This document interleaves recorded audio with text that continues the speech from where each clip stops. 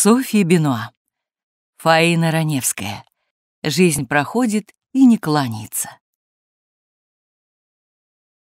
Глава первая. Детство Фаины. Наука одиночества. Эпиграф. Ребенка с первого класса школы надо учить науке одиночества. Фаина Раневская. Девочка из провинции. Эпиграф. Если у тебя есть человек, которому можно рассказать сны, ты не имеешь права считать себя одиноким. Фаина Раневская. Душной звездной августовской ночью 1896 года в приморском городке Таганроге в опрятном двухэтажном особняке из красного кирпича на улице Николаевской появилась на свет Фая Фельдман. Кто бы мог тогда подумать, что этой бледненькой, едва слышно пищащей в руках повитухи новорожденной девочки из респектабельной еврейской семьи предстоит стать величайшей актрисой своего времени, бесподобной Фаиной Раневской. Как свидетельствовали знаменитые уроженцы Таганрога, жизнь в городке текла вяло, напоминая обмелевшую речушку с болотистыми берегами. Антон Павлович Чехов вспоминал о родном городе. Дом Чеховых находился всего в одном квартале от особняка Фельдман. Таганрог — совершенно мертвый город. Тихие, пустынные, совершенно безлюдные улицы, засаженные по обеим сторонам деревьями в два ряда, акациями, тополями, липой, из-за которых летом не видно домов отсутствие движения на улицах, торгового оживления, мелкий порт, не позволявший большим судам подходить близко к Таганрогу, пустынные сонные бульвары у моря и над морем, и всюду тишина, мертвая, тупая, подавляющая тишина, от которой хочется выбежать на улицу и закричать «Караул!». Тихим очарованием печали одиночества, заброшенности, медленного умирания веет от безлюдных широких улиц, заросших деревьями, погруженных в дремотное безмолвие.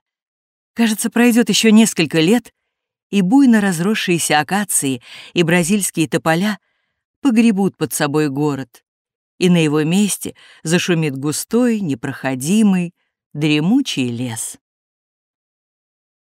Русский литератор и историк балета Валериан Яковлевич Светлов красочно описывал Таганрог как знойное южное захолустье. Таганрог — очень неинтересный город. Для принужденных постоянно обитать в нем и, главным образом, неинтересный по климатическим условиям. Жара в нем стоит неестественная, доходящая летом до 48-50 градусов, а холод зимою до 20 и больше. Таганрог производит на человека, попавшего в него в первый раз, странное и унылое впечатление выморочного города. Улицы пустынны, как в Помпеи. Ставни у всех домов наглухо заперты.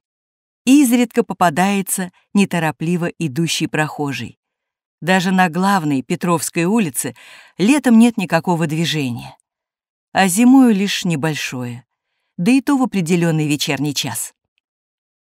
Не имея канализации, водопровода и стоков, город не может быть действительно чистым.